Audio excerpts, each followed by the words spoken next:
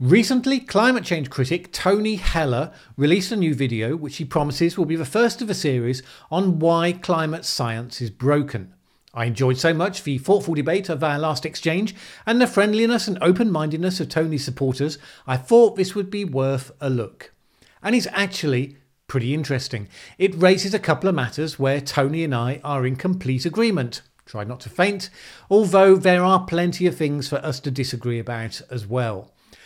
But he raises an important issue.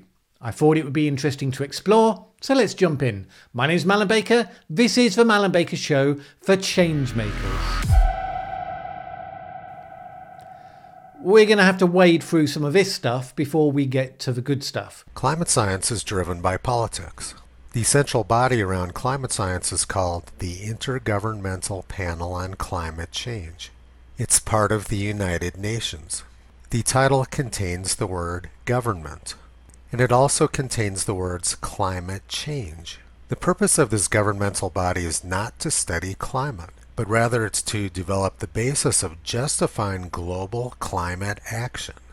Yes, the Intergovernmental Panel on Climate Change has the word government in it. It also has the word in and over and mental in it. Just because it has the word government in it doesn't make it a governmental body. Intergovernmental, of course, means it's set up by numerous governments, which it is by definition if it's set up by the United Nations. It has no governing role, only an advisory one. And Tony seems to be under a misapprehension here. He says it's the principal body for the advancement of climate science, and hence he thinks it's surprising that its remit is not to study climate.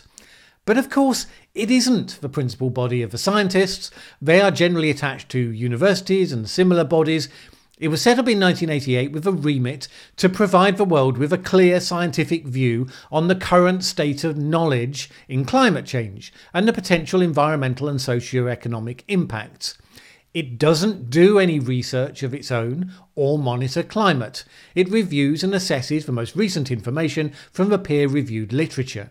The scientists who contribute to its reports, which summarise that literature, do so for free, which is something to bear in mind when people go on about follow the money, as they sometimes do. The UN announced the contents of their 2014 report four years earlier in the year 2010. What the scientists found doing their research over the next four years was irrelevant to the conclusions of the report. The IPCC results are predetermined, and the scientists are just there to provide cover for the politicians. Well, that's pushing it a bit. The fact that well in advance of the report date it was obvious from what they were seeing from the research that had already been published that a number of assumptions were being revised in the wrong direction doesn't provide the evidence that you're claiming there. 9,200 peer reviewed studies went into the 2014 report.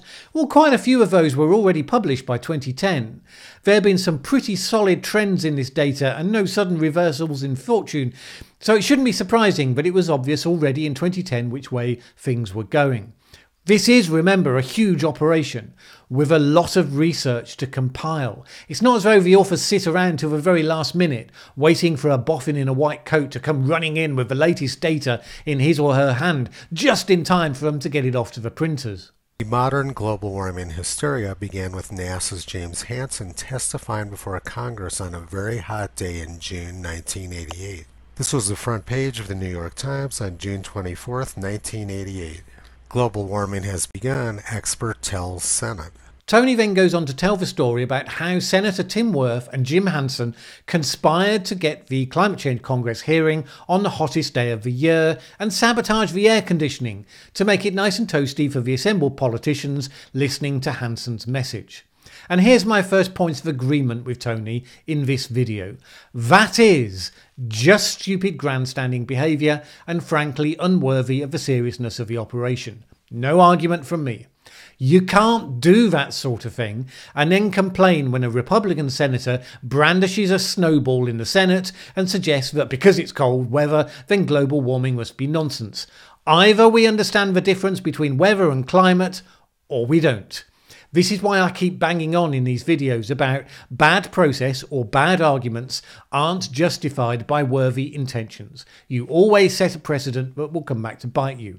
So we're agreed on that one, Tony. I'm not convinced their Jake was single handedly responsible for Hansen's evidence being influential, but it was definitely dumb behaviour. Let's carry on. James Hansen told Congress that he was 99% certain that summers were going to get much hotter and droughts were going to become much more frequent. He said that the chances of summer drought in the low and middle latitudes would be 1 in 3 by the year 2030, as against 1 in 20 in the 1950s. So let's see how Hansen's forecast did. Okay, I'm not entirely sure why we're diving into an attack on Hansen's predictive powers at this stage. The 1988 climate models were relatively limited since it was a new field. Here's a diagram showing how the different elements of a complex picture have gradually been added to the model since those early days.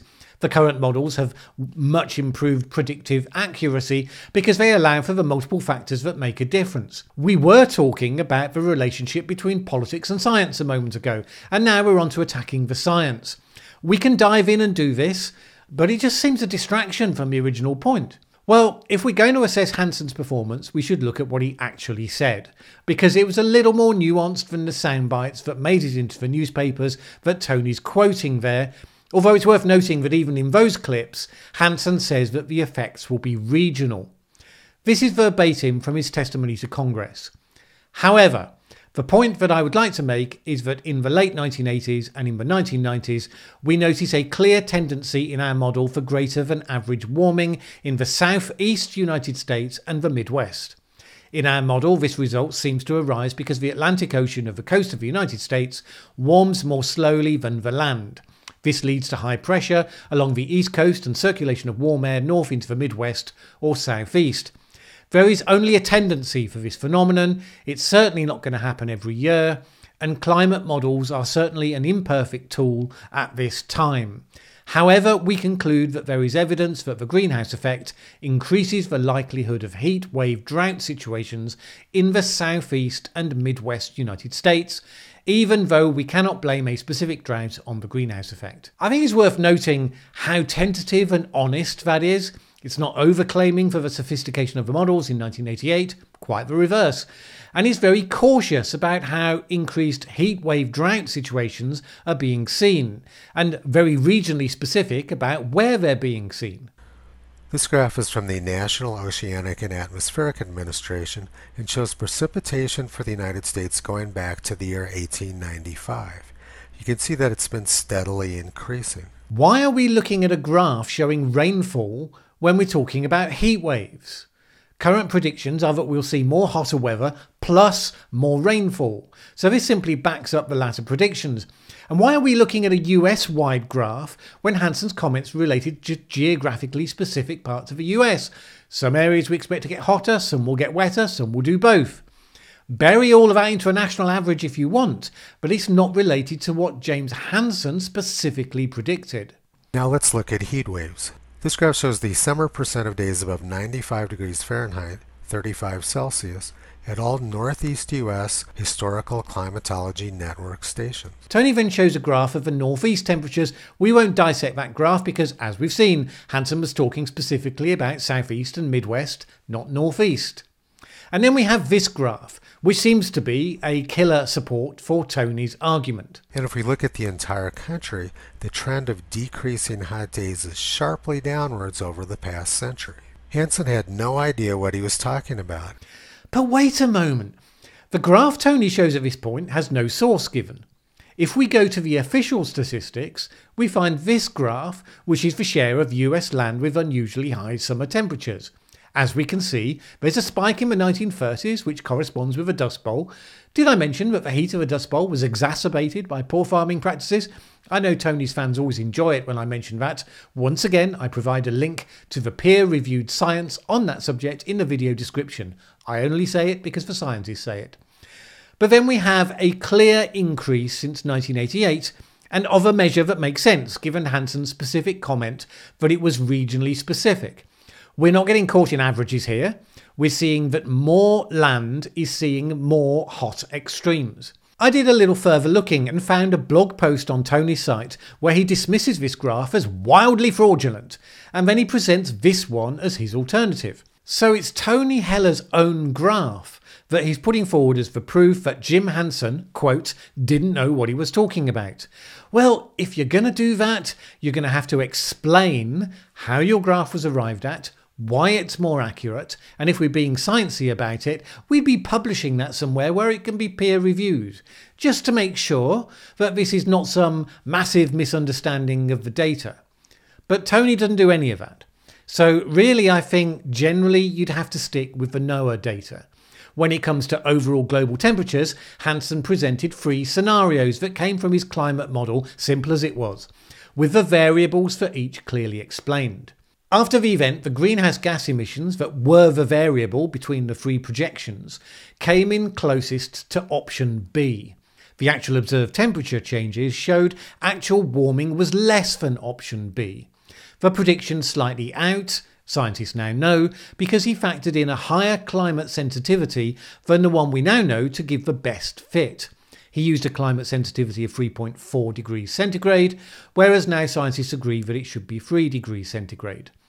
Had his model used today's agreed sensitivity, it would have been very close indeed. Which is not bad, given how much the sophistication of the models has moved on since 1988. So rather than Hansen not knowing what he was talking about because his prediction didn't match Tony's special graph, it seems he was pretty okay, even if he was prone to colluding with some stupid grandstanding with the air conditioning. So that's our diversion into the science. Now Tony gets back to arguably the main thrust of his argument. Al Gore was elected vice president in 1992, shortly after the coolest summer on record in the United States. The climate wasn't cooperating with global warming theory, so Al Gore took matters into his own hands. Vice President Al Gore immediately started purging the nation's top scientists when he took office in January 1993. One of Gore's first targets was Dr. Bill Gray at Colorado State University. Dr. Gray was the top tropical meteorologist in the world and the man who invented hurricane forecasting. Gore invited Dr. Gray to a global warming conference he was holding in Washington. Dr. Gray said he'd be happy to attend, but Gore needed to know that he was not a big believer in Gore's theories. Gore responded by cutting off Dr. Gray's funding.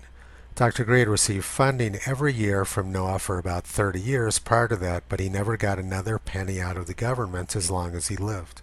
Now, I'm not sure about this one. The narrative seems much more that peer review prevented his proposals on climate change being accepted for funding because they weren't good enough quality, but his work on hurricanes was still encouraged. And since Bill Gray in 2006 said it may warm another three, five, eight years and then it will start to cool, and that was definitely a failed prediction, it may well be just correct that this was a quality check. Oh, and he also said Gore believed in global warming almost as much as Hitler believed there was something wrong with the Jews. You know, it might not be worthy of a conspiracy theory if you go comparing the sitting vice president to Hitler and then you find you're not invited to parties anymore. I mean, there's conspiracy theories and there's just self destructive behaviour. If I'd compared the CEO of my previous job to Hitler, probably wouldn't have played out well for me, and I recommend you don't try it yourself either. Sometimes how people behave is a factor. And in addition to that, Gray was also criticised for how he attacked some fellow scientists in uncompromising ways. Now, I didn't know him, I don't know all the background, so let's assume Tony's right in spite of all of that, because for his next example, he's on much less ambiguous ground. Another victim of the Gore purge was Dr. William Happer from Princeton. Dr. Happer is one of the most respected radiative transfer experts in the world, and he was head of energy research at the Department of Energy. But because of his disagreement with Al Gore about global warming theory, he was quickly relieved of his job. The description of what happened with William Happer seems basically in line with how it's been recorded and written up. For instance, here's this contemporary story. These are turbulent times in Washington for science. Consider the case of William Happer, who was dismissed from his post as Director of Energy Research of the Department of Energy after opposing the prevailing views of Vice President Al Gore and his environmental aides on the harmful effects of ozone depletion and greenhouse gases on the Earth's environment and on human health. Happer's dispute with Gore's people is the first instance of a Clinton administration enforcing its vision of political correctness on scientists in its midst. The sacking of Happer, a former Princeton University physics professor with impressive credentials, raises questions about whether the administration will be able to recruit scientists for sensitive positions when science conflicts with politics. And that question right there goes to the heart of the debate for me. How much do we think a political administration should be appointing scientific advisors on the basis of the agreement between their beliefs and the political worldview of the administration? Shouldn't it be about getting excellent scientific minds, getting them to operate in a collegiate, peer reviewed, evidence based environment and letting them sort it out? Because the danger is that you end up with crappy advice from people who, rightly or wrongly, conclude that the way to progress is to tell you what they think you want to hear. And that's never a good idea. The best chief executives of companies know the last thing they should ever do is surround themselves with yes men. And if that holds true for a company, surely it's a good principle for government. And some of you, not Tony's fans, I know, but some of you might be thinking, oh no, Al Gore was absolutely right, because frankly, any scientist who doesn't believe in climate change is obviously not up to the job. That may have been the case with John Gray on climate science specifically. He was clearly massively respected for his work on hurricanes, but by all accounts, that's simply not the case in the instance of William Happer. Maybe there's more to it than is in the public record, but it prompts us to focus on the principle nonetheless. Because once you establish a principle, it gets used against you in the end. Again, you can't complain about the Trump administration taking actions to get the science in line with its political worldview if you already established when it suited you that that's a reasonable way for an administration to behave. Now, admittedly, he's become a rather starkly higher profile, like President Trump instructing NOAA to confirm his completely wrong assertion about the trajectory of a hurricane. I mean, even Trump supporting conservatives thought that was a bit weird. But there are lots of other examples where climate scientists have been pushed aside in various positions. Although, to be fair, Trump surprised scientists generally when he, after a long pause, appointed the current White House science advisor Kelvin Drudgemeyer, probably mangled his name, apologies to him, an expert in extreme weather, highly regarded by the community. So let's not believe in total caricatures on either side of the debate. Anyway, you could see grounds where Tony and I might agree on some of this, Unfortunately, in Tony's mind, as expressed in his video, this isn't a question of a relationship between political leaders and independent scientific advisors. He believes it's all about the alarmist conspiracy, that it's purely a one way flow and it's about spreading bad science. Which is a strange position, because with President Trump in the White House, you can't really say that the deep state is controlling the agenda in the way that you might have when it was Clinton and Gore. You see Trump influencing the agenda in the way he wants. It's just that in that case, it's the way that Tony would want as well. But this is my message to both sides.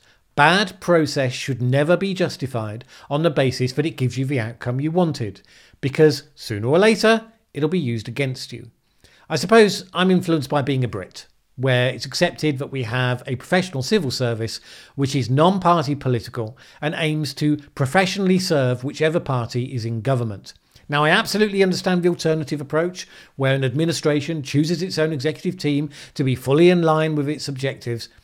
But when it comes to independent scientific advice, where science is so much about building up of knowledge over time on a broad base of peer reviewed evidence, there's got to be a strong argument in there somewhere for preserving the independence of the advisors from the political whims of the party in charge.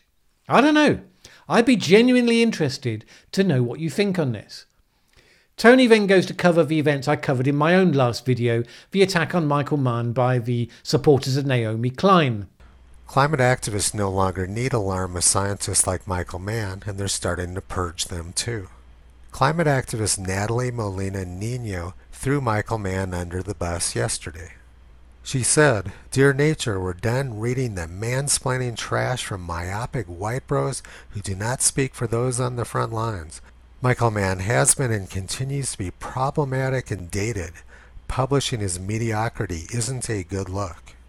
This sort of vicious attack on a scientist based on his race and gender appears to be acceptable among climate activists at this point. And then Natalie continued her vicious attack against Michael Mann later. Climate activists no longer need scientists on either side of the debate. Climate alarmists like Michael Mann played a dangerous game allowing politicians to call the shots, and now the politicians no longer need them. Climate alarmism no longer has anything to do with science. I don't think it's that at all. I think it's that the radical left is destroying itself with its obsession with identity politics and call out culture. Even Obama called for that particular nonsense to stop because of how incredibly self defeating it is. Large numbers of people, scientists and activists, leapt to Michael Mann's defence against the charge of mansplaining because he dared to criticise Naomi Klein's support for the everything, including the kitchen sink Green New Deal. You see, if you were right that the scientists were at the beck and call of politicians who want to introduce socialism via the mechanism of climate policy, then that spat wouldn't have happened. But Mann, whatever your opinion of him, is pointing out the damage to the scientific imperative of climate change by tying it together to a bunch of extreme left craziness. Those are kind of my words, of course.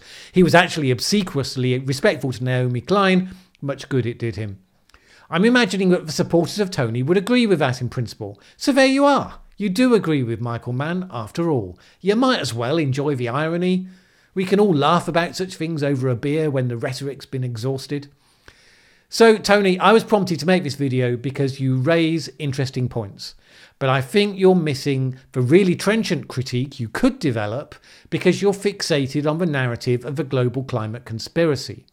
One peer reviewed paper investigated what it would require for a global conspiracy on climate change to be real, and they identified that over 400,000 people would have to be in on the conspiracy for it to work. If you step back from your dissatisfaction with the way you think some of the statistics are being handled, that's a pretty huge leap to believe such a vast group with so little in the way of powerful incentive would actually hold together as a conspiracy. Surely, in the way of Bayesian reasoning, we could find a simpler explanation that fits the facts. It's just a thought.